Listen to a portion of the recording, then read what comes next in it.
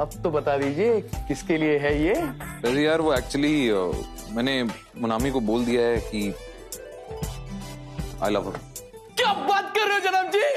अरे झंडे गाड़ दिया आपने। और इतनी अच्छी बात आप ऐसे बता रहे हो जैसे कि आप घड़ी देख के टाइम बता रहे हो। जनाब जी इतनी बड़ी खबर